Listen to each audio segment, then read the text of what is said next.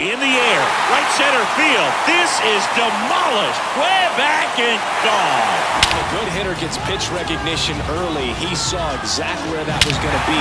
The challenge, not get over anxious and come out of your swing.